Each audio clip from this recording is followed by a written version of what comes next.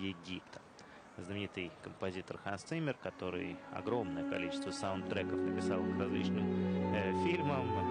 Но ну вот, многие шутят, что начинает э, звучать миссия невыполнима, а в конце концов все сводится опять же э, к пиратам Карибского моря. Но сейчас принц Египта. Нечто иное. Посмотрим, как интерпретирует саундтрек э, к этому фильму Ги Джан и